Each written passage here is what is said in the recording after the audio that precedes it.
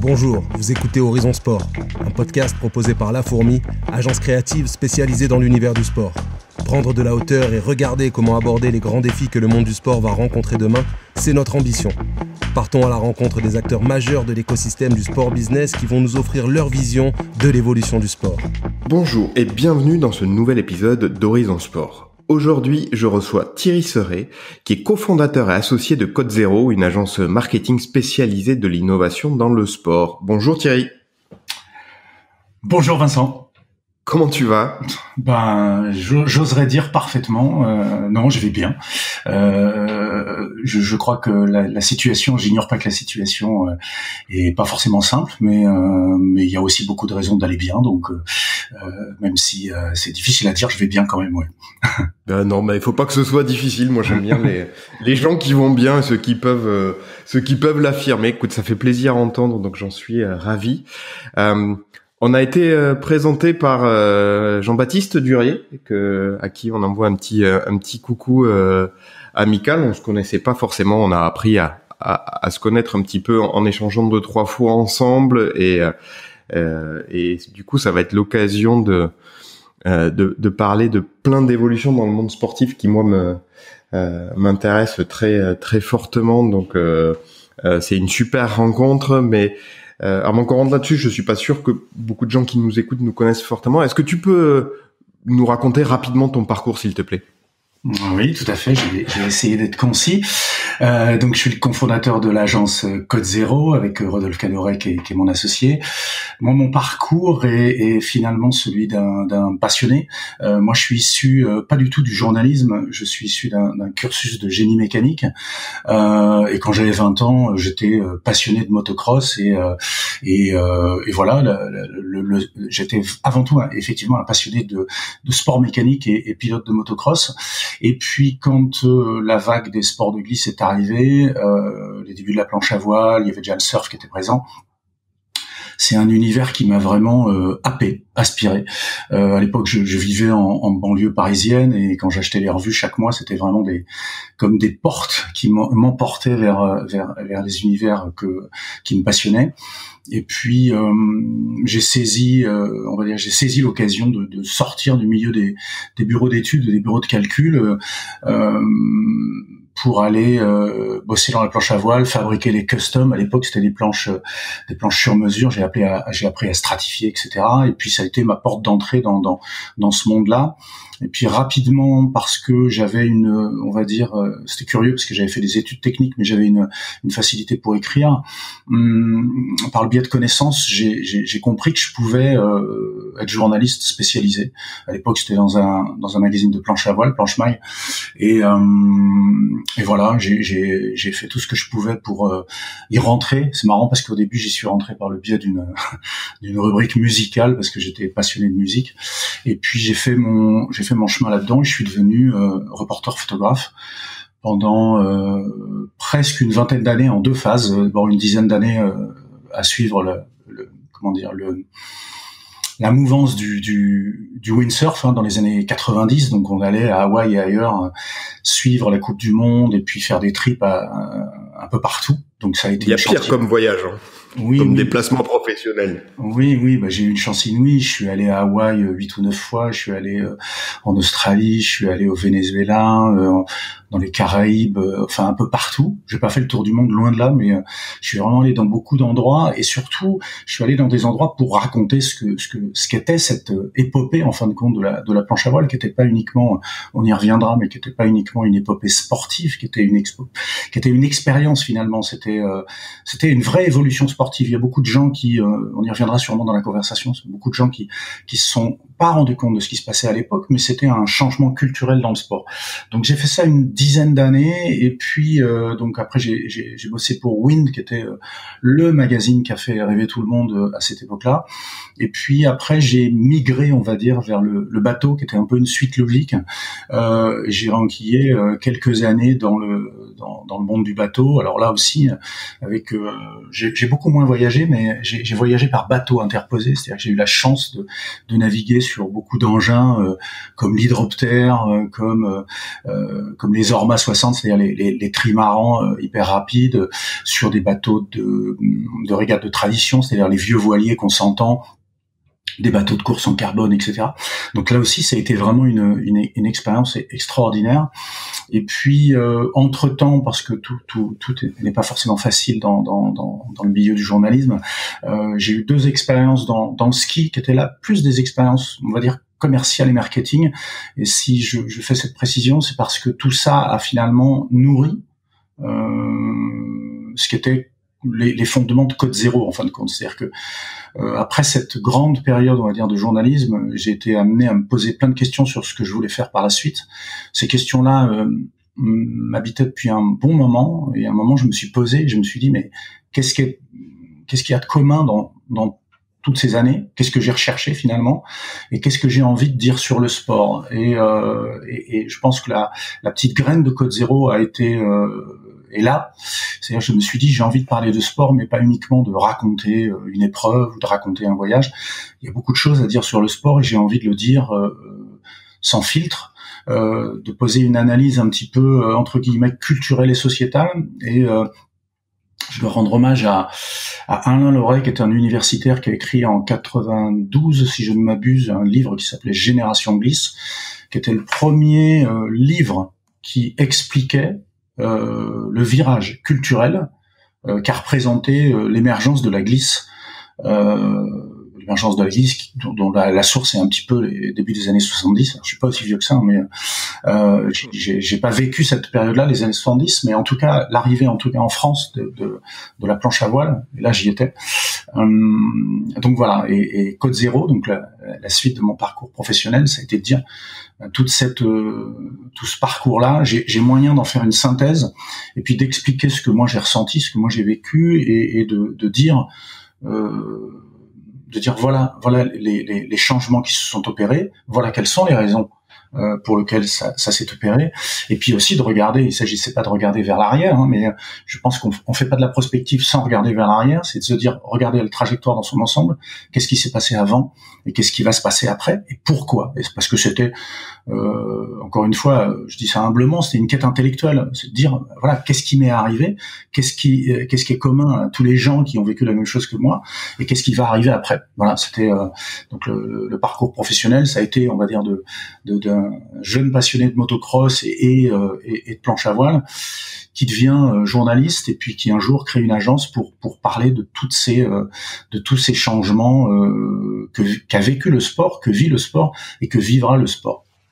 Bon, écoute, c'est assez fascinant. Merci de nous avoir raconté tout ça. Effectivement, un parcours déjà hyper éclectique, hyper hyper riche et, et je l'ai dit en intro et on l'a bien compris dans tout ce que tu dis là. On va parler aujourd'hui des évolutions du sport et du monde sportif sous plein d'angles euh, différents et il y a beaucoup de sujets concrets que j'ai envie d'aborder euh, avec toi, mais euh, je vais commencer fort avec une question large, mais je pense que ça va être aussi euh, une intro de votre approche chez Code Zero et peut-être tu, tu, pourras nous raconter quels sont les clients pour lesquels vous travaillez sur quel type de de projet. Mais donc, euh, question euh, large, abrupte, sans filtre. Euh, le sport de demain, à quoi, à quoi il ressemble et quels sont ses grands enjeux et vraiment pris sous tous ses angles, les, nouveaux usages, la technologie, les nouveaux formats de compétition. Enfin voilà, tout, tout, tout un peu balayé très large. Désolé pour cette entrée en matière très très abrupte, mais voilà, c'est aussi un peu l'occasion de de parler de ce que vous faites. Bien sûr. Euh, bah, je dirais que euh, c'est une question de toute façon passionnante et très intéressante sur laquelle on, nous on travaille à longueur d'année. Puis encore une fois, euh, euh c'est vraiment le la raison d'être de Code Zéro, c'est de se dire euh, qu'est-ce qu'est-ce qu'est le sport déjà et comment il évolue. Euh, alors, avant de parler du sport de demain, pour qu'on comprenne bien, je, je, vais, euh, je suis obligé de parler du, du, du sport d'hier. Alors, je vais essayer d'être court et, et concis. Euh, euh il faut, on va pas revenir trop longtemps en arrière, mais on va revenir à peu près dans, dans les dans les années 60. Euh, c'est l'émergence, on va dire, un peu du de la de la structure un petit peu du, du sport en France. Euh, il y avait les sports tout à fait classiques, ce, ce, que les sociologues appellent le sport moderne. Alors le sport moderne, c'est pas le sport de demain, mais c'est on va dire le sport d'hier, c'est-à-dire les, les, sports traditionnels euh, que, qui nous passionnent tous, le, le football, le, le, rugby, le handball, l'athlétisme, etc. On va dire les sports qui sont aujourd'hui gérés par des fédérations, les sports qui sont basés sur des règles relativement immuables, euh, le, et, et le sport qui est basé sur la compétition. Alors, c'est ça le sport moderne. Il faut savoir que je crois dans les années 60, il y a eu une, une Olympiade qui s'est très mal passée, avec très peu de résultats français. Et le général de Gaulle, à l'époque, a dit bah, il faut que ça change et a euh, posé, euh, on va dire, les, les structures du, euh, euh, de, de, ce que va être le sport en France et, et particulièrement... La politique publique sportive. La politique publique sportive avec la doctrine sportive. Alors, je sais plus si c'est 60, je crois que c'est 64, la, la, la doctrine sportive. Bon, il faut savoir que le sport, c'est quand même un, énorme enjeu de euh, soft power, c'est-à-dire grosso modo de géopolitique, hein, euh, euh, parce que c'est un c'est un enjeu de rayonnement. Ça explique pourquoi des nations comme la Russie, la Chine ou même le Qatar, par exemple, investissent massivement dans le sport, parce que c'est une façon de faire de l'image de marque des pays. Euh, c'est pas c'est pas négatif, ça peut avoir des côtés négatifs, mais mais c'est pas négatif. Donc les Olympiades, on se rappelle aussi, enfin on se rappelle, personne était là à cette époque-là, mais euh, Hitler qui se saisit des, Jeux Olympiques aussi pour faire de, l'image. Donc euh, euh, il fallait que la France rayonne et ait des athlètes. Donc on a mis en place tout un tas de structures et notamment les, fédérations dont le but est de d'avoir des médailles et leur financement en dépend. Donc on va dire que le sport moderne, c'est le sport qu'on connaît tous, euh, le sport qui est régi par des règles, etc. À partir des années 70, euh, on, on voit apparaître le, le sport postmoderne et, et je, je, je, vous garantis qu'il y a beaucoup de gens qui ont encore du mal avec cette, cette évolution-là. Qu'est-ce qu'est le sport le, sport postmoderne? C'est l'évolution de la société, c'est-à-dire au milieu des années 60, la société, elle se libère, euh, que ce soit aux États-Unis, mais après en, en Europe aussi, hein, avec 68 en France. Euh, la société est moins verrouillée, la société est plus libre, et euh, c'est pas moi qui le dis, c'est des, sociologues comme Alain Loret ou d'autres, euh, qui fait que cette volonté de liberté dans la société va avoir une, déclinaison dans le sport.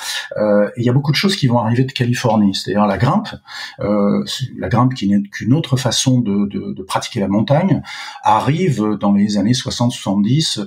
Euh, alors, elle a commencé avant, il y avait des grimpeurs avant, mais c'est à ce moment là que ça prend un nouvel essor. Dans les années 60-70, euh, il y a euh, ce qu'on appelle les rock climbers à l'époque, euh, les rock masters, pardon, en, en Californie, dont parmi eux des gens comme Yvon Chouinard qui vont qui vont créer Patagonia, euh, qui était à la fois un surfeur et un grimpeur, euh, qui vont ben, finalement euh, populariser cette cette façon de pratiquer la montagne qui est complètement différente. on leur prête une influence hippie. eux la, la, la réfutent un peu parce qu'ils étaient beaucoup plus sportifs que ils se voulaient beaucoup plus sportifs que les que les que les hippies. Mais en tout cas, il y a cette volonté de libérer, d'avoir des pratiques beaucoup plus libres. À l'époque, c'est aussi l'époque de, de, entre guillemets de la drogue, etc. Mais en tout cas, libération de la société. Même chose en, en France dans les années 68. La grimpe va arriver en France et va être popularisée un peu plus tard au début des années 80. Euh, donc euh, ça va mettre un petit peu de temps. Il y a la même chose qui se produit aussi un peu plus tard, euh, milieu des années 70, dans le vélo. Encore une fois, euh, c'est les chevelus californiens, je dis les chevelus californiens. Les chevelus. C'est pas péjoratif. Hein. C'est, faut bien voir que derrière, euh, derrière cette libéralisation de la société, les hippies, etc., il y a tout un courant qui, qui se libère d'un certain nombre de carcans. Et euh, que font les Californiens autour de San Francisco? Ils se disent, ouais, il y a des montagnes derrière. Qu'est-ce qu'on peut faire de marrant avec un vélo? Et euh, ils prennent ce qu'on appelle les cruisers à l'époque, qui sont des vélos pour aller sur la plage. Ils inventent le VTT. Euh, pour la petite histoire, quand le VTT va arriver en France, les gens vont pas y croire parce que nous, on a une culture à l'époque très euh, typé Tour de France et qu'on considère que le vélo sérieux, on va dire, c'est le Tour de France. Euh, quand tu quand tu quand tu dis on, on veut pas y croire, c'est-à-dire qu'il n'a pas été adopté tout de suite, c'est ça? Non, ça a mis du temps parce que encore une fois, c'était une pratique un petit peu marginale et euh, que, que cette façon de pratiquer le vélo était pas euh, sans doute pas prise au sérieux et notamment par les euh, par les instances. On, on, on, retrouve ce problème de compréhension des nouvelles, euh, des, des émergences des tendances sportives, cette incompréhension des instances en France qui sont les instances institutionnelles, les fédérations, et qui sur ce point-là, en tout cas, sont critiquables parce qu'elles ont rarement vu arriver l'innovation. Donc le VTT ben, arrive, et puis dernier versant aussi, la planche à voile. La planche à voile, c'est encore une façon nouvelle de pratiquer la mer, et on, on retrouve euh, on retrouve encore une fois des Californiens qui se disent euh, tiens, on a des longboards, ce qu'on appelle des Malibu à l'époque, des, grandes planches. Est-ce qu'on pourrait pas mettre un mât dessus avec une voile pour aller euh, prendre plus de vagues? Puis ils inventent la, ils inventent la planche à voile. Donc encore une fois, la planche à voile quand elle est arrivée, qui a eu un succès massif en France, les gens s'en sont saisis. on a cru à quelque chose qui pouvait être anecdotique, mais c'était une, tout ça représente un vrai changement culturel. C'est-à-dire que le sport dont on a parlé avant, qui était le sport moderne, qui est très basé sur l'effort, l'entraînement, le résultat, euh, les règles, euh, qui est, euh, et c'est pas moi qui le dis, on en, parlera plus tard aussi, euh, Isabelle Keval, ancienne sportive qui a, qui a beaucoup travaillé là-dessus, c'est fait des rapprochements avec la culture judéo-chrétienne, mais c'est vrai, c'est-à-dire le sport, c'est l'effort. Et ce qu'on voit arriver dans les dans les années 70, c'est finalement le sport, c'est l'hédonisme, c'est-à-dire qu'on on cherche pas à se faire mal, on cherche pas à se faire mal, on cherche à se faire plaisir. Et c'est-à-dire que le, le plaisir, euh, la liberté, peut-être la créativité, à un moment, on pris le pas sur la performance et la notion d'effort, c'est ça? Exactement, exactement. Et, euh, et vraiment, l'essence de Code Zéro, ça a été euh, ça. Alors aujourd'hui, c'est d'autres choses. Aller, aller expliquer ce qui va se passer après, parce que le sport est en, est en mouvement perpétuel. Mais vraiment, moi, ce qui m'a animé au départ, c'était notamment la version nautique. C'est-à-dire que moi, qui, qui a été passionné de, de, de planche à voile et et, donc en effet mon métier après, je, je voyais euh, ce qui se passait, euh, euh, le funboard, les, la navigation dans les vagues, etc., qui était quelque chose de qui venait du surf et qui était une pratique hédoniste. Alors bien sûr, après il y avait de la performance, celui qui sautait le plus haut et tout, mais il y avait aussi un aspect gestuel qui était qui était très important, c'est-à-dire et qu'on retrouve dans le snowboard, qu'on retrouve dans le skate, cette culture du geste, euh, même euh, qui, peut aller jusqu'au motocross avec des, des, des, courses de FMX où là on a on a vraiment une expression corporelle. On le voit arriver avec la slackline. Enfin après ça part dans tous les sens et c'est vraiment la matière de recherche de, de, sur laquelle Code Zero se penche à, longueur d'année le sport à ce moment-là est devenu très créatif. Alors il s'agit pas de critiquer le, sport classique qui est basé sur des règles. Euh, on est tous plus ou moins euh, passionnés de foot. En tout cas, il y a beaucoup de passionnés de foot. Euh, le foot a très peu changé et la Ligue des Champions reste passionnante ou la Coupe du Monde et on vibre tous quand les Français ont de bons résultats. mais ce sport-là est d'une certaine façon un peu immuable, très basé sur la compétition et en parallèle, s'est développé de plus en plus un sport basé sur le plaisir et la performance et euh, le, plaisir et pardon et la, et la, réalisation de soi un petit peu le, euh, quelque chose de, de, moins basé sur le, le, résultat, sur la faut bien le dire aussi sur des valeurs très ça c'est un autre domaine vachement important euh, sur des valeurs très masculines parce que le sport compétitif c'est quoi? C'est euh, la performance euh, la, la, domination, c'est aussi des valeurs très masculines, vitesse, vitesse, puissance, euh, domination. Euh, et ce qui arrive aujourd'hui, c'est euh, l'émergence, par exemple, du yoga. Euh, il y, a souvent eu des vagues un petit peu d'intérêt du yoga, mais elle, elle, est un peu plus avérée aujourd'hui. Euh, il y a beaucoup évidemment de femmes qui, qui, qui, sont passionnées par le yoga, mais on voit arriver des hommes. Euh, et puis euh, le but de yoga, c'est pas c'est pas d'être meilleur que l'autre, c'est d'aller trouver un équilibre. Donc euh, euh, le sens du sport est en train de changer, en tout cas est en train de s'élargir, et, et, ça c'est passionnant. Donc pour résumer, sport moderne qui existe toujours, c'est le sport traditionnel, compétitif. Le sport post-moderne qui est le sport basé sur euh, plus l'expérience, donc l'expérience qui, qui remplace la, la, performance. Et puis on voit arriver aussi ce, ce qu'appellent certains sociologues comme euh, Ludovic Falex ou, euh, ou Alain Cornelou, ou Jean Cornelou, pardon, le sport transmoderne, c'est-à-dire le, grosso modo c'est le sport postmoderne mais qui va aussi chercher du sens.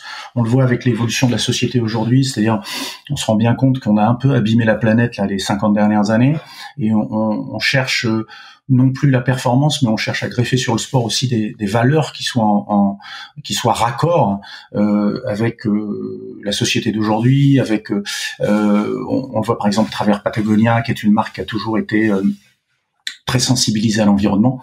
On voit aujourd'hui que ce, ce, souci-là est, est, vachement important. Donc, ta question ramenée au sport de demain, ben, le sport de demain, ça reste l'ensemble de ces de ces pratiques-là. Donc le, sport moderne et classique qui continue, euh, qui continue son, son, sa trajectoire, mais qui, qui, rencontre beaucoup de problèmes, notamment aujourd'hui avec la pandémie, parce que la, la manière dont il est structuré, ben, les grandes compétitions, euh, ben, on, a, on a plus de public, et puis aussi euh, malheureusement, et ça c'est un vrai, vrai, vrai souci, les, les structures locales qui sont un, euh, un, un énorme acquis de ce qui a été installé dans les années 60. C'est-à-dire qu'en France aujourd'hui, euh, vous avez des enfants, vous pouvez leur faire du, du football, du taekwondo, du, du rugby ou, ou, tout autre sport assez facilement parce qu'il y a un ensemble de clubs qui sont répartis sur le territoire, qui sont souvent accessibles euh, pour des sommes relativement modiques, où il y a beaucoup d'ailleurs, il faut les, il faut les vraiment le souligner, beaucoup de hum, comment dire de bénévoles qui, qui s'y impliquent.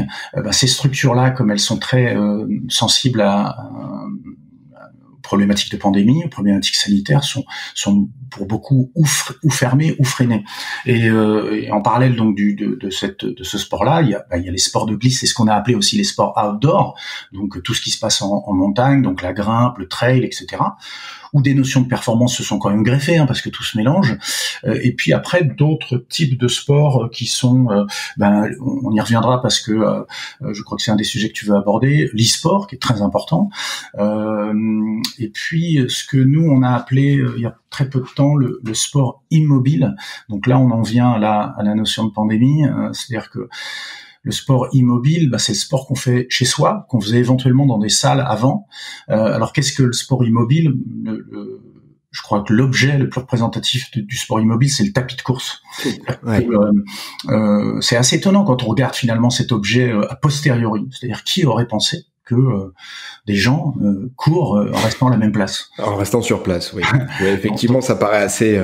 Dans l'absolu, c'est assez stupéfiant. C'est assez stupéfiant. On pourrait penser que c'est un peu stupide, mais en même, temps, en même temps, ça répond à une vraie problématique. Ça répond à une problématique d'entraînement. Donc, dans tous les dans tous les clubs, il y a des il y a des tapis de course. Donc, le sport immobile, c'est évidemment pas de rester immobile, mais c'est le sport sans déplacement.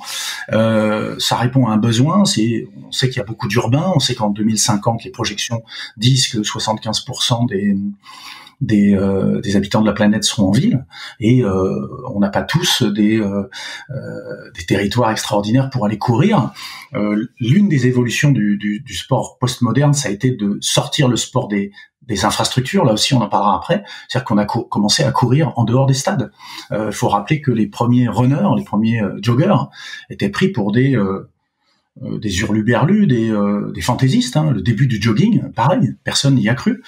Euh, courir comme ça, courir lentement. Hein. Je souligne, courir lentement sur des longues distances, ça sortait des schémas sportifs traditionnels. Donc encore une fois, les fédérations, elles, n'y ont pas cru. Euh, il y a un certain Phil Knight, hein, ça s'écrit K-N-I-G-H-T, qui, qui, qui fondera, qui fondera euh, un peu plus tard euh, Nike, euh, qui lui y a cru dès le début.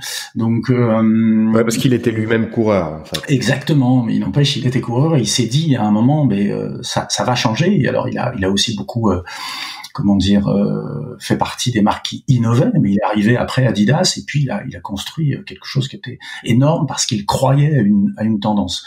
Et, euh, donc on en revient au sport immobile. Le sport immobile, bah, on a tous expérimenté ça malheureusement en mars-avril. On n'avait pas le droit de sortir de chez nous.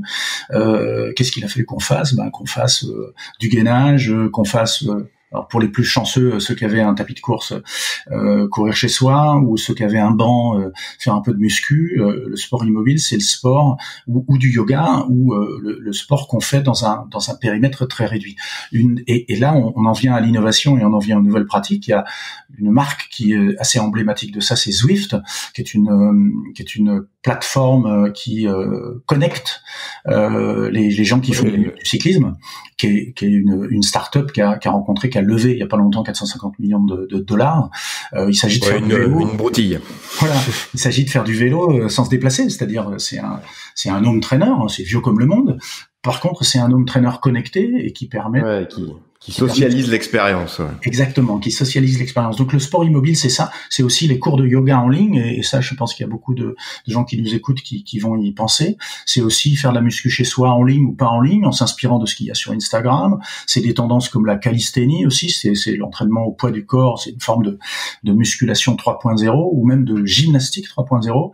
Donc euh, euh, je pense que dans les, dans, les nouvelles tendances et le sport de demain, euh, ce que nous on appelle le sport immobile, c'est quelque chose de d'assez fort. Après, évidemment, il y a, y l'e-sport, mais je crois que tu, Ouais, mais on, a abordé là plein de sujets. T'as as déjà balayé très large. Je vais te ramener. Euh, je, suis désolé, c'est passionnant, mais sur sur des des sujets plus pragmatiques, plus euh, plus terre à terre, parce que on a parlé d'urbanisation, d'évolution du sport, du, moderne au post-moderne, euh, d'évolution des pratiques, euh, et puis de cette politique sportive en France publique qui a été créée euh, il y a 60 ans quasiment et euh, qui a assez peu évolué depuis.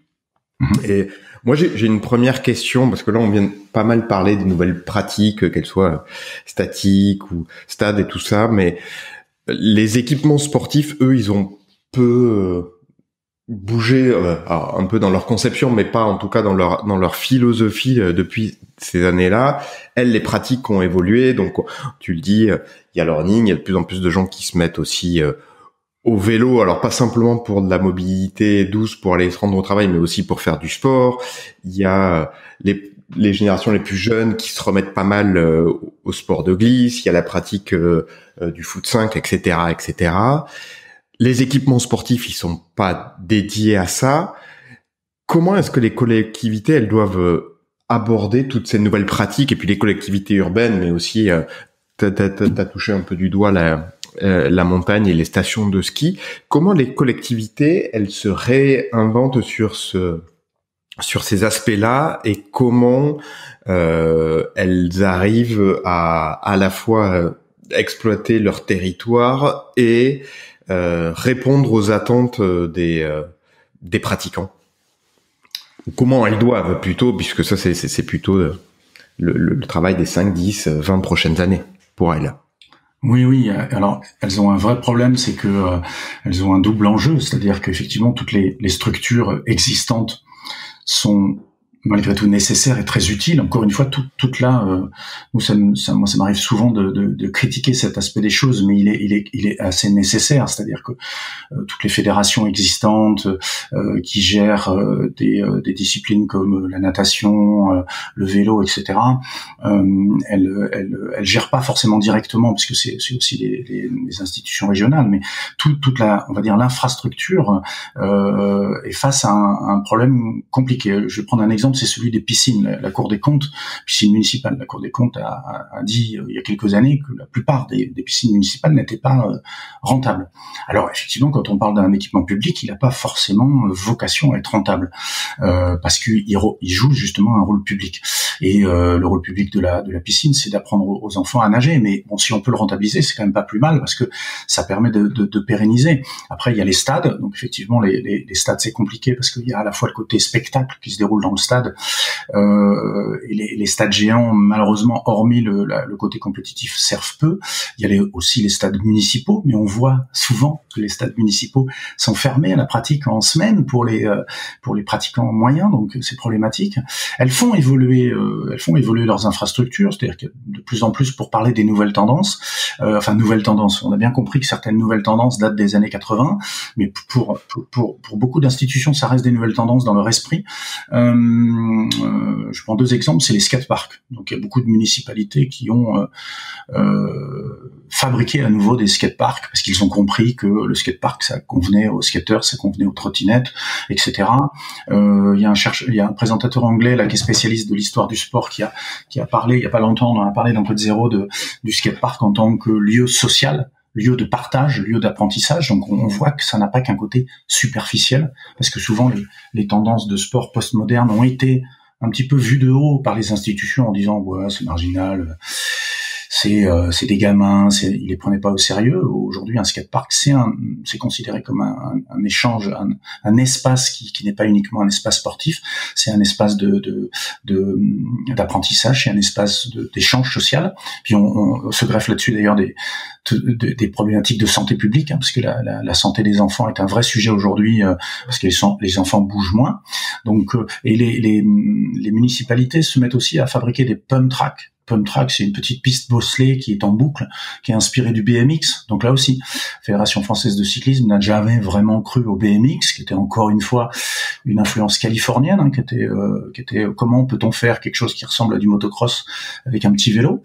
Euh, euh donc d'ailleurs, je te, je, je te, coupe deux secondes, mais euh, il y a quelques mois, on a reçu sur ce podcast Hervé André Benoît du groupe Hurricane, bien sûr, qui parle hyper bien de tout ça et ah de la manière dont lui, en fait, aussi et son groupe accompagnent les collectivités dans, euh, bon, évidemment, la mise en place de ces infrastructures, mais aussi la compréhension de tout ce que ça regroupe et des besoins en termes de euh, d'éducation, de, mise des, jeunes au sport. Enfin voilà, c'est euh, un petit un, petit un petit rappel de, de ce sujet qui est qui est donc furieusement d'actualité.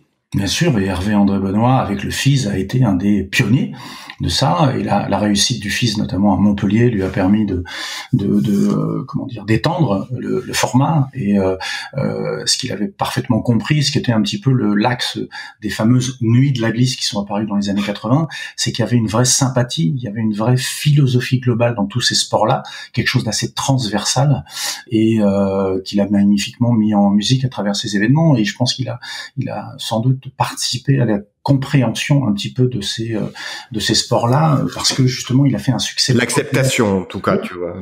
Oui oui, il a parce qu'il a réussi à faire quelque chose de qui, était un vrai succès à Montpellier euh, et donc euh, bah, les élus ont, compris que ça drainait beaucoup de gens. Donc les, les infrastructures, ben oui, c'est un vrai problème global qui est qui, qui, va même jusqu'aux stations de sport d'hiver ou jusqu'au port de plaisance, parce que toutes ces infrastructures assez lourdes, euh, qui étaient la plupart basées sur des pratiques anciennes, enfin anciennes euh, des années 60, ben, souffrent des, des, évolutions des pratiques sportives. Je vais prendre juste un exemple. Jusque dans les années 70, on va dire l'interface, pour parler un petit peu techniquement, euh, entre la terre et la mer pour aller sur l'eau, c'était le port. Euh, il fallait prendre un bateau et on allait sur l'eau. Euh, avec l'arrivée du surf dans les années 60 et puis surtout l'explosion de la planche à voile à partir des années 80, aujourd'hui, pour beaucoup de pratiquants, l'interface entre euh, entre la terre et la mer, c'est la plage. Donc c'est pas une infrastructure et il y a beaucoup de trafic, enfin dire encore une fois pour utiliser des mots techniques, de, de passionnés qui vont à l'eau en partant de la plage. Donc là, c'est un vrai, une vraie problématique. C'est-à-dire que la plage n'est pas une infrastructure euh, organisée, tant mieux d'ailleurs, c'est pour ça qu'on l'aime.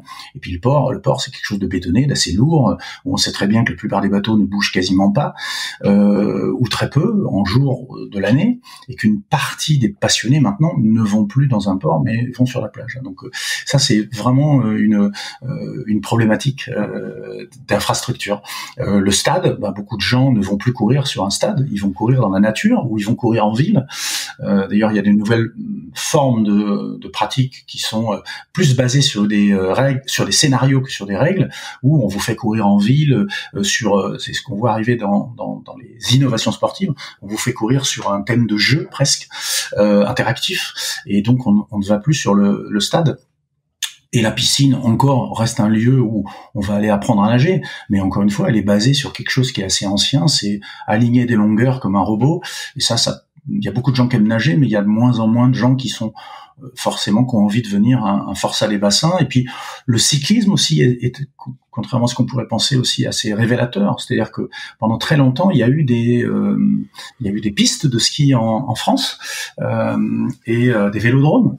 Euh, et les vélodromes ont petit à petit disparu parce qu'on a on a fait le cyclisme sur route. Et puis bah ce qu'a fait le VTT, c'est que finalement on a pratiqué le, le cyclisme dehors dans, dans la nature. mais on pourrait très peut-être très bien revoir venir des, des, des, vélodromes parce que finalement euh, le, le, vélo est de nouveau à la mode pour tout un tas de raisons et euh, donc tout ça pose le, le problème des infrastructures qui euh, euh qui sont des infrastructures lourdes et qu'on ne peut pas euh, réaffecter facilement mais c'est une des problématiques des, des institutions et des, et des marques aussi. Hein. Beaucoup de marques qui réfléchissent. Euh, nous, on, on conseille. Euh, l'agence, bah, tout, tout, le travail de recherche qu'on fait fait que on, on accompagne des gens, euh, euh, notamment Decathlon, euh, sur sur les problématiques de pratiques nautiques, ou le groupe Beneteau, ou le groupe Salomon. On, a, on est une petite agence, nous on est on est on est quatre et on a la chance d'avoir des, des, des, gros clients et, et on, on, essaye de penser avec eux le de travailler avec eux sur justement l'évolution des pratiques sportives. Euh, et, tu crois, pardon, je te coupe, que du coup, ce, type de marque de, de, de belles sociétés, euh, elle devrait se rapprocher des collectivités pour imaginer le, la manière de, de gérer le, le, le, le parc urbain, les, les équipements existants pour mieux les transformer ou mieux les occuper, les utiliser, je veux dire? Alors pour les marques que j'ai citées, sans doute Decathlon travaille là-dessus, euh, c'est évident, mais c'est pas toujours facile de rapprocher, euh, surtout en France, euh, on dire la sphère publique de la, de la sphère privée. Mais évidemment, c'est bien pour ça que je pose la question parce que c'est effectivement pas euh, dans la dans la culture publique française. Oui, oui, complètement. Il y a, beaucoup d'inertie, mais bon, en même temps, dans les euh, euh dans les euh, dans les institutions, là aussi, on accompagne beaucoup de de, territoires. On accompagne Finistère 360, là, c'est l'agence d'attractivité du Finistère sur l'évolution des pratiques nautiques. Donc, ils sont conscients de ça. Ils sont conscients qu'il faut accompagner les acteurs privés. Donc, malgré tout, rendons hommage d'une certaine façon à la puissance publique qui aussi se, se, bouge beaucoup pour comment dire pour que les choses changent. là, sur, pour Finistère 360, on on accompagne euh, leur réflexion sur l'évolution des pratiques nautiques qui se sont miniaturisées, c'est-à-dire que euh, avant, dans les années 70, c'était beaucoup le bateau. Aujourd'hui, euh, c'est le kite ou le kite ou le, ou surfoil ou, ne serait-ce que le stand-up paddle qui était une, pratique vraiment grand public. Donc, ils essayent de se dire qu'est-ce qu'on peut faire pour accompagner ces, pratiques-là. Il y a on a aussi réfléchi avec les gens du Béarn sur euh, les problématiques de vélo, parce que les pratiques du vélo aussi beaucoup changé, euh, avec l'arrivée de, euh, de nouveaux courants comme le BMX, comme, enfin, encore une fois, un nouveau courant, le BMX est arrivé il y a longtemps, ou la pratique du VTT qui se développe de plus en plus, ou la pratique du gravel, qui fait qu'ils ont une multitude maintenant de, de publics différents, et puis le cyclisme traditionnel qui est encore ultra populaire en France. Euh, donc euh, petit à petit, il n'y a pas forcément de rapprochement euh, à tout craint entre public et privé, mais tout le monde se rend bien compte euh, que les pratiques changent. Elles sont surtout très transversales. C'est-à-dire qu'avant, euh, dans les années 70-80, on, on, faisait un ou deux sports et on s'impliquait vraiment. Aujourd'hui, il y a, entre guillemets, euh, ce mot mis à toutes les sauces, mais une pratique de zapping. Et euh, les gens cherchent à vivre des expériences, à vivre, à essayer des pratiques différentes. Et donc, s'investissent dans beaucoup de pratiques différentes. Et donc, les, le, le principal problématique pour les marques, comme pour les euh, comme pour les institutions, c'est d'offrir euh, euh, la possibilité à leurs clients, c'est pas un gros mot, hein, les clients, qui sont des fois les touristes pour les, les, institutions régionales, de leur offrir un spectre d'expérience le plus large possible. Ouais, écoute, très clair. On voit que c'est un des problématiques qui, qui vont être assez centrales et qui vont mettre du temps à être résolues, mais sur lesquelles il faut se pencher tout de suite. Euh, comme j'ai encore plein de sujets à aborder avec toi, je suis désolé, on va pas encore creuser dedans, mais parce que je veux être sûr de, de, de pouvoir euh, parler de, de plein de sujets sur lesquels ton regard euh, m'intéresse. Effectivement, tu en as parlé tout à l'heure, euh, le sport virtuel, Zwift, mais moi je voudrais qu'on parle aussi plus largement de l'e-sport, qui est un domaine, un territoire qui sur lesquels les, les, les jeunes générations passent de plus en plus de temps. Pour toi, le sport et l'e-sport, est-ce que ce sont des univers concurrents ou complémentaires? Euh, concurrent certainement pas. Euh, complémentaire oui, parce que euh, concurrent ça voudrait dire que euh, être passionné d'e-sport euh, interdirait d'être passionné de sport, ce qui est pas le cas. C'est-à-dire que oui, mais je, te dis ça dans une logique effectivement pas tant d'opposition, mais que euh, pour reprendre encore des, des, des, expressions un peu battues en brèche, mais de, de temps disponible et de, de, de répartition de ce temps, en fait. Bien sûr. Alors le, le problème de l'e-sport, alors l'e-sport, tout le monde met un peu euh, tout euh, là-dedans. Euh, l'e-sport, ça reste très proche du gaming, donc effectivement, c'est c'est c'est devenu l'e-sport parce que parce qu'il fallait mettre un mot là-dessus. Ça reste quand même, ça a été d'ailleurs le débat et les, et, et les critiques qui portaient là-dessus, c'est dire oui, c'est pas du sport parce que on bouge pas. Bon, le débat, il est il est pas très intéressant. Euh, parce il a pas beaucoup, il a pas forcément beaucoup de sens. Oui. Voilà, euh, moi je pense que d'abord c'est une pratique des nouvelles générations, donc euh, donc faut s'y intéresser, euh, faut s'y intéresser, il faut euh, faut aller dans leur sens. Donc le l'e-sport d'abord c'est un succès complètement fou, euh, avec des, des tournois qu'on, qu'on qui rassemblent énormément des, des, audiences colossales, avec des marques qui s'y impliquent, et puis un vrai intérêt. Donc donc voilà, donc il n'y a pas de débat, ça existe. Après autour de l'e-sport, il y a aussi ce qu'on pourrait appeler effectivement le, sport virtuel, c'est-à-dire euh, Zwift. C'est d'abord ça, ça, ça, adresse pas les mêmes générations. Les gens qui font du vélo sur Zwift, ils ont pas 15-20 ans. Euh, il y, a, y a le sport connecté, le sport virtuel connecté, on va dire. Euh, ça, ça va se développer. C'est en parallèle de l'e-sport.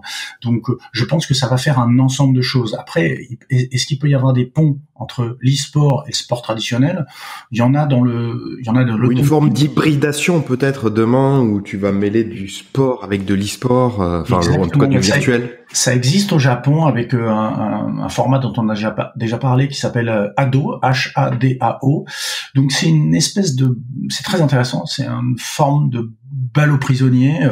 Ça, ça, ça ressemble à un oui, un hybride entre un ballot prisonnier et, du volleyball, où les, les, joueurs, il y a des joueurs réels qui portent des casques euh, virtuels, des, des, casques de, de réalité, de réalité virtuelle 3D, et qui s'échangent des boules d'énergie. Donc euh, c'est un peu, pour ceux qui ont vu Tron, euh, c'est un peu, ça ressemble, euh, que ce soit la première ou la deuxième version du film Tron, ça ressemble un peu à ça. Donc les, les spectateurs, il y a eu un championnat au Japon il y a pas très longtemps, les spectateurs voient les joueurs réels qui donc euh, euh, font des font des gestes et font des vrais mouvements. Donc, en ce sens, c'est un sport au sens euh, pragmatique du terme, avec des joueurs euh, qui se déplacent physique et, et, qui ont des mouvements.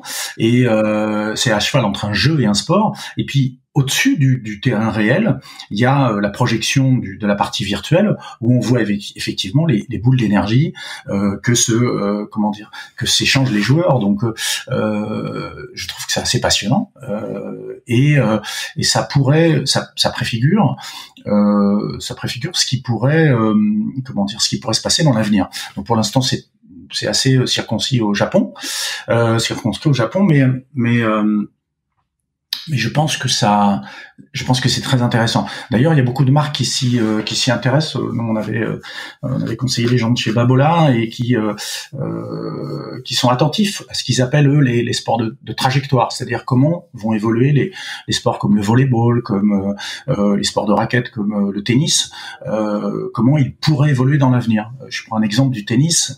le tennis, pareil, un sport immuable. évidemment, c'est passionnant le tennis, mais il faut savoir que les audiences, par exemple, à la télé, euh, des matchs euh, euh, Djokovic, Nadal ou etc.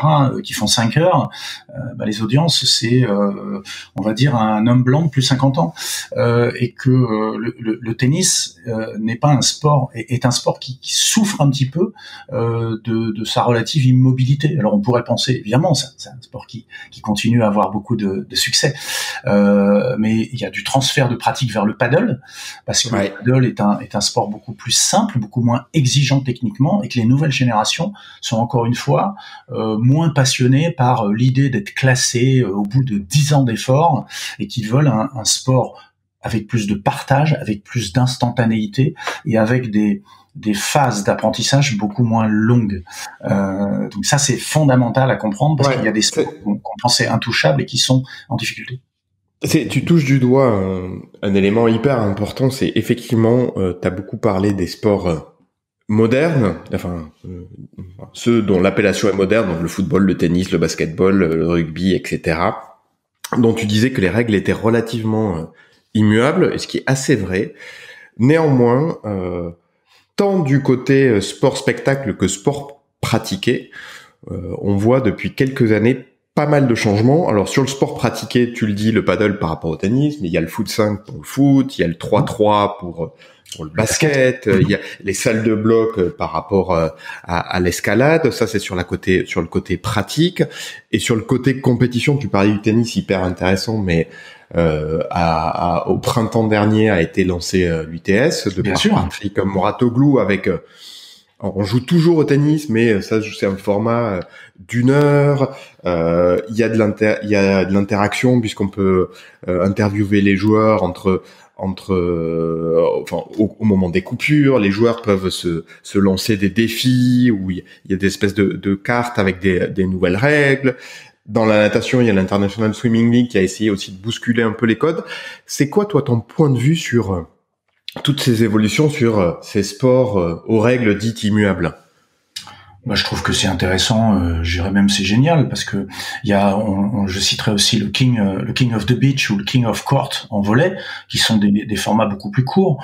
Bah, ça pose un, un ça pose une, une question euh, fondamentale, c'est qu'avant effectivement ces, ces sports-là avaient des structures longues euh, et qu'aujourd'hui tout va plus vite dans la société. Le, Internet a beaucoup changé nos perceptions là-dessus et on sait très bien que le, le niveau d'attention des gens euh, baisser et qu'on est euh, on, cherche beaucoup plus à avoir des, des, formats courts et notre notre vraiment notre capacité d'attention euh, est, moins longue. Et puis effectivement il y a, a, beaucoup de, matchs qui sont des fois qui nous paraissent aujourd'hui trop longs. Et tous ces sports là qui, qui reformatent un petit peu leur euh, leur pratique.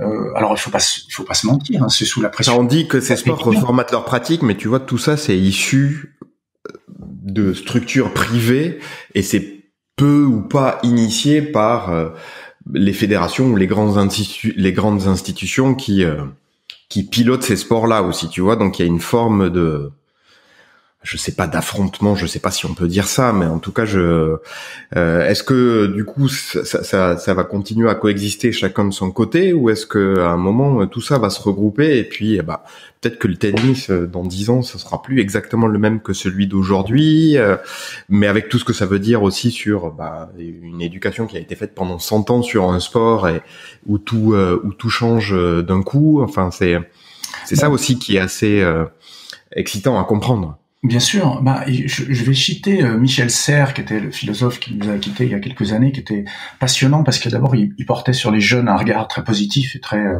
progressiste. Euh, il faut bien comprendre que euh, euh les, les, jeunes qui arrivent aujourd'hui, un gamin de 15 ans, il a toujours connu que, enfin, il voit le monde totalement différemment parce que, alors le téléphone n'a pas changé le monde, Internet n'a pas changé le monde, mais il a quand même suffisamment euh, modifié. C'est-à-dire que tous ces sports-là sont nés, bah, d'abord il y a très longtemps euh, pour la plupart, euh, dans un monde qui était complètement différent, dans une lecture du monde qui était complètement différent, et les jeunes aujourd'hui sont en attente de quelque chose qui est complètement différent. Donc penser que, euh, alors le, le, foot est peut-être une exception parce que le foot est tellement universel que penser que euh, on a besoin de changer la, la comment dire la, le, le, le, format des compétitions, euh, je pense que c'est peut-être un des seuls sport qui peut y échapper. Euh, par contre, euh, que les autres sports évoluent, ça, me semble totalement naturel euh, et on peut pas penser que le sport reste immuable alors que tout le reste change. Alors effectivement, tous ces changements-là sont venus du domaine privé parce que euh, c'est pas leur faire insulte que de dire que les fédérations elles sont très conservatrices. Euh, la plupart, elles sont dirigées ou pilotées par des gens qui sont issus du domaine sportif de haut niveau, qui ont été formatés par ça et, euh, et qui ont plus de, de, mal, même si beaucoup sont assez progressistes, ont plus de mal à, à bousculer leur, euh, le, leur format initial. Euh, et le privé est beaucoup plus à la recherche de, euh, de ce qui pourrait intéresser euh, le, le, le, client final et de ce qu'on peut tirer parti de, de la technologie, etc. Donc, ils cherchent à se remettre en cause, alors qu'il y a plus de conservatisme de, la part des structures. Mais euh, c'est pas un secret. La plupart des fédérations aujourd'hui sont en difficulté. Elles l'étaient déjà avant le, Covid. Aujourd'hui, comme le Covid freine la pratique en groupe euh, et met en difficulté les clubs, euh, ben les, fédérations euh, qui n'ont, comment dire, posé leur survie qu'à travers la licence, oui, elles sont en difficulté parce que beaucoup de gens aujourd'hui ne renouvellent pas leur licence. Donc c'est un vrai problème euh, qui pose la question de l'accès au sport des enfants, puisque j'en parlais au début. Euh, mais évidemment, tout ça va, encore changer. Mais il faut qu'on garde tous en tête euh, ce, ce qu'on peut faire pour euh, l'éducation des enfants, euh, l'accès du sport aux enfants, notamment à une période où on sait très bien que la, la pratique physique diminue, notamment à cause des jeux, mais aussi pour beaucoup d'autres raisons, l'interdit du sport en ville, le manque de, le manque de structures innovantes en ville notamment. Euh, donc tout ça pose des questions passionnantes parce qu'on va avoir des formats sportifs euh, différents euh, auxquels je crois à 200%. et, et, et puis il faut que toute cette infrastructure-là donne aussi envie de, enfin les spectacles et l'infrastructure donnent envie et la possibilité à de, à de nouveaux entrants et à des jeunes de pratiquer. Ouais, écoute, très clair. Je voulais te poser une dernière question, mais en fait, tu, tu, tu y as répondu au fil de l'eau, donc je vais un peu la préciser. Je, voulais qu'on parle un peu du rôle global du sport dans la société. Oui. Mais ça, ça, tu, tu en as un peu parlé.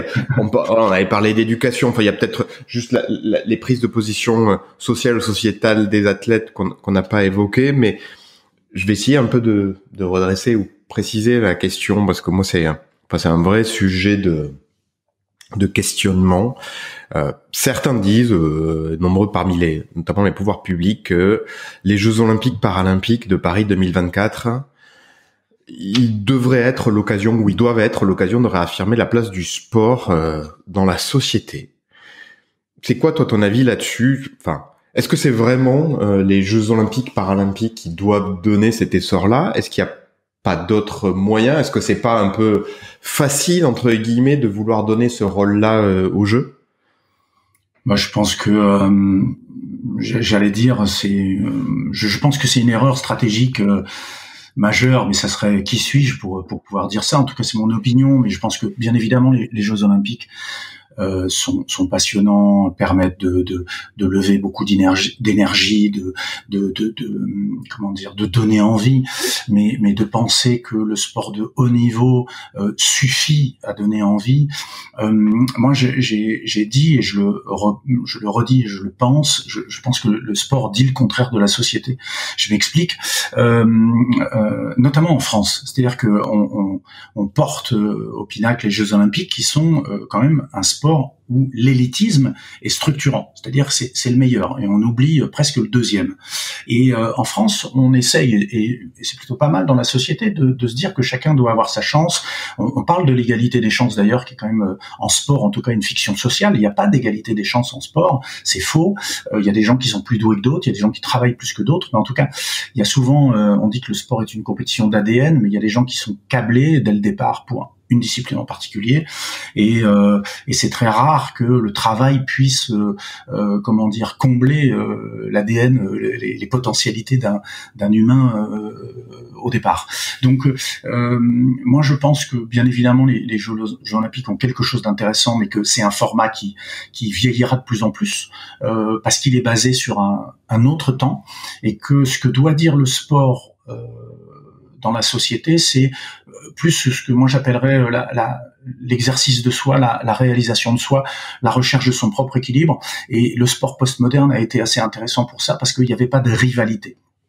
Les Jeux olympiques, c'est malgré tout, qu'on le veuille ou non, c'est la victoire, c'est la domination, c'est l'élitisme. Alors, dans notre système éducatif, on combat ça à longueur de journée, c'est-à-dire qu'on essaye de redistribuer le plus possible les chances et, et euh, on essaye de pas regrouper euh, les classes par euh, élite, mais ce qui est structurant dans le sport. Donc, comment on peut bâtir un, un, système sportif qui est complètement inverse par rapport à la société? Alors, je dis pas qu'il faut niveler le sport par le par par le bas, comme on, on peut. c'est une critique qu'on peut faire dans, dans l'éducation que, que certains font en tout cas, je pense que le sport, on doit dire quelque chose aux enfants de différents à travers le sport, que euh, que euh, le sport ne doit pas être uniquement euh, l'endroit où on peut battre son copain, où on peut être meilleur que lui, mais où on peut prendre du plaisir avec lui, on peut partager à travers le sport et que la victoire et le classement, c'est pas l'alpha et l'oméga du sport. Or, c'est l'alpha et l'oméga du sport moderne. Euh, donc le sport euh, traditionnel, comme, on en a parlé avant, et, je pense que le sport doit se saisir de euh, d'idéaux, de d'éducation, de, de, valeurs qui, qui, exclu enfin qui exclut pas complètement la compétition, mais euh, mais qui soit euh, beaucoup plus noble de, de, partage. Il y a, il y a beaucoup de sports aujourd'hui où euh, finalement on va à l'eau en surf, où on fait une session de freeride en VTT, où on va faire une, une session de bloc en grimpe, où quand on rentre dans la salle, on n'a pas comme ambition d'être meilleur que son copain. Par contre, on a comme ambition de, de partager quelque chose avec ses amis. Euh, et puis aussi le, le rapport homme-femme. Hein. Les, les, D'ailleurs, la grimpe en est un bon exemple. Euh, je, je, cite Jean-Baptiste Ribou, qui était un, un, un des anciens euh, euh grands figures du, de la grimpe des, des, années 80 que j'ai la chance de connaître, qui disait quand tu arrives dans une salle de grimpe, c'est un des rares sports où, où tu sais pas si ta voisine va pas être meilleure que toi. C'est-à-dire que c'est un sport, par exemple, où les femmes sont excellentes et qu'il n'y a pas vraiment de. Euh, euh, on peut comparer les, les, comment dire les. Oui, oui où la, puissance la puissance n'est pas l'atout le, maître comparé à l'agilité. Exactement. Ou, ou, à d'autres ou à d'autres capacités. On sort du format euh, valeur masculine, euh, vitesse, euh, puissance, domination. Donc ça c'est intéressant. Et je pense que l'un des enjeux du sport c'est ça d'ailleurs. Euh, l'un des gros thèmes du, sport les deux dernières années c'était l'arrivée des femmes dans le sport. Euh, les femmes qui font du crossfit donc qui qui, qui, euh, ne sont plus juste des petites choses fragiles comme on l'avait écrit dans, dans, Code Zéro qui peuvent se saisir de de, de, de, de, la puissance on voit des femmes qui font de l'altéro enfin qui via le crossfit font de l'haltérophilie etc donc il y a une redistribution des valeurs du sport et c'est ça qu'on doit dire aux jeunes générations en disant voilà le sport peut vous aider à à trouver votre équilibre, peut vous aider à, à vous réaliser, peut euh, euh, à travers de nouvelles pratiques euh, vous permettre d'être en bonne santé physique et mentale, parce qu'il y a aussi cette dichotomie mentale et physique qui était très ancrée dans le sport avant. Et aujourd'hui, on sait que pour être en bonne santé mentale, il faut être en bonne santé physique et inversement. Donc c'est de ça de ce dont doit se saisir le sport aujourd'hui. Et, et c'est pas les c'est pas les Jeux Olympiques qui qui vont qui.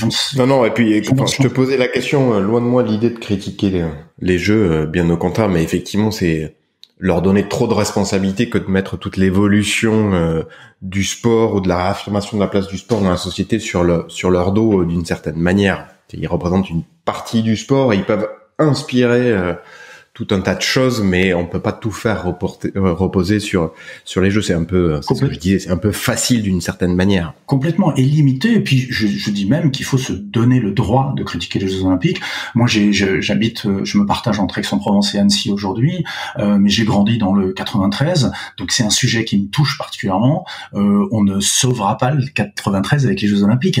Euh, le, le, la Seine-Saint-Denis, c'est un problème où il y a des, c'est un, comment dire? Oui, encore une fois, c'est mettre trop de responsabilité responsabilité ou se défausser trop facilement euh, sur sur les jeux. C'est effectivement il y a des problèmes bien plus bien plus larges euh, et les jeux en couvrent une, une partie euh, mais petite. Oui, oui, complètement. Et c'est un département où il y a des problèmes sociétaux qu'on réglera peut-être où le sport, j'y crois vraiment, peut jouer un rôle, mais où les Jeux Olympiques ne vont pas changer la donne. Donc, euh, euh, donc, il faut se donner le, le, droit de croire aux Jeux Olympiques, mais de les critiquer aussi, c'est clair. Ok, bah écoute, très clair. Merci beaucoup pour tous ces échanges vraiment euh, passionnants. Ça donne beaucoup de matière à réfléchir. Merci. On sent bien qu'on pourrait encore euh, discuter euh, de, de, de, longs moments, mais voilà, on va essayer de, de garder tout le monde, tout le monde avec nous. Mais ça donne encore une fois beaucoup de matière à réfléchir et à envisager le sport, le sport demain. Mm-hmm. Je termine comme je le fais habituellement par deux questions un peu plus personnelles, si tu veux bien, bah, Thierry. Euh, premier, et ça, je suis sûr que euh, tu vas pas avoir, tu, tu, vas même avoir besoin de faire un trick, tu n'auras pas de difficulté à répondre. Mais est-ce que tu as des conseils euh, à partager de lecture, de, de podcasts que tu écoutes, de, de, de, films que tu as vus, de séries que tu regardes ou, ou de tout autre média euh, et qui t'inspire, que tu peux partager avec nous comme un bon conseil? Euh, oui, euh, il y a quelqu'un qui m'a beaucoup euh, inspiré dans, dans, dans, ma réflexion ces, ces, ces, ces, deux dernières années ou ces trois dernières années, c'est Hartmut Rosa, qui est un euh, philosophe allemand. Alors ça peut paraître euh, étonnant de citer un philosophe allemand quand on parle de sport, mais justement, je trouve que ce qu'il dit pour la société est assez applicable au sport. C'est lui qui parle de. Alors c'est lui qui a en particulier théoriser l'accélération de, de, nos modes de vie hein, euh, et le, le, poids que ça faisait peser sur euh, sur nos vies, donc l'accélération de la société qui a, qui a, des bons côtés mais aussi beaucoup de mauvais, et qui parle aussi de, de résonance. C'est-à-dire c'est un concept euh, euh qui est assez accessible finalement, même si tous les bouquins d'Armutrosa sont, sont, pas accessibles. Mais cette notion de résonance avec le monde euh, qu'on voit apparaître euh, quand on parle, il y a des gens comme Baptiste Morisot qui ont parlé du vivant euh, et de, de, de de, cette nouvelle euh, conscience qu'il faut et, qui était intéressante dans le sport outdoor, notamment de la nature euh, qu'on considérait avant comme un spectacle, voire même un terrain de jeu, et qu'il faut qu'on, auquel il faut, euh, auquel nous devons faire plus attention. La notion de résonance, c'est la notion d'instant, euh, la notion de résonance avec le monde, et on peut le vivre en sport quand on fait une session de surf. Je pense que les surfeurs ont compris ça, ont compris ça il y a très longtemps. Euh, on peut, on peut vivre ça dans une simple session en VTT ou une session de grain peu euh, à l'extérieur, c'est de se dire ce qu'on vit, l'interaction entre soi et euh, sans, sans, sans, partir dans des concepts philosophiques, euh, je suis loin d'être un philosophe trop trop ardu, mais de, de, de résonance avec le monde, c'est-à-dire le plaisir qu'on a notamment d'être en nature. Ça c'est c'est vraiment important euh, et je pense que c'est l'un des, euh, des personnages qui m'a fait le plus réfléchir à ça. La deuxième, je crois que j'anticipe peut-être ta, ta, dernière question, c'est euh, la personne euh, euh, que je pourrais euh, te désigner comme un, un futur. Bah voilà, tu fais tu tu tu fais tu fais mon job, voilà. Je, je, je fais ton travail. J'ai plus qu'à te laisser parler. C'est Isabelle Keval, Isabelle Keval qui est une ancienne tennisman et qui a beaucoup beaucoup écrit et beaucoup intervenu sur le sport et qui parle de la notion de, de l'effort et qui parle de, qui a écrit un bouquin qui s'appelle ce philosophie de l'effort et et euh, c'est très intéressant parce que euh, l'effort, j'en parlais au tout début de, de, de cet entretien, euh, est, est, quelque chose de très constituant dans le sport. C'est-à-dire qu'on a l'impression, et c'est lié à la culture judéo-chrétienne très présente en Europe, que en sport il faut se faire mal, que euh, euh, le, se faire mal c'est se réaliser et tout. Et elle a écrit des choses très très intéressante là-dessus. Euh, s'accomplir ou se dépasser aussi. Il y a deux bouquins qui sont intéressants, Philosophie de l'effort et l'autre qui est S'accomplir ou se dépasser. Comme c'est des mots que beaucoup de gens prononcent à tort et à travers, euh, je, je, conseille cette lecture et je te conseille de, de l'inviter parce que d'abord c'est quelqu'un de brillant et, euh, et elle a une façon de replacer le sport dans un contexte général qui fait beaucoup de bien et qui permet de se sortir, on va dire, des formats, euh, euh, comment dire, des philosophies toutes préformatées qu'on nous sert habituellement pour le sport et de réfléchir soi-même à sa philosophie sportive. Bon, bah écoute, merci pour euh, ces inspirations et euh, effectivement, ça, ça, donne matière à, à voir le sport autrement ou en tout cas à le considérer autrement et à tout remettre en perspective. Donc euh, il y a matière à, à bien réfléchir dessus et à, élaborer. Merci pour tous ces échanges, euh, Thierry. C'était euh, très riche, très instructif, certainement assez euh, différent de des épisodes récents qu'on a pu avoir, qui étaient peut-être euh, plus directement focusés sur un sport ou sur du business, mais ça fait du bien d'avoir ce d'avoir ce champ ce champ large pardon et de de considérer les les la manière dont il faut euh, voir le sport demain pour, pour mieux comprendre sa transformation. Donc, euh, merci encore une fois. Et merci, euh, merci à toi et merci à Jean-Baptiste Durier d'avoir pensé à moi justement. bah écoute, ouais, on remercie encore une fois Jean-Baptiste et puis je te dis à très bientôt. À très bientôt. Bonne journée à tous. Au revoir Thierry. Au revoir. Merci d'avoir écouté cet épisode. N'hésitez pas à le partager autour de vous, à le commenter et nous noter sur vos applications de podcast. Si vous souhaitez nous faire des retours, des suggestions et si vous avez besoin d'être accompagné, écrivez-nous sur contact at lafourmi.biz.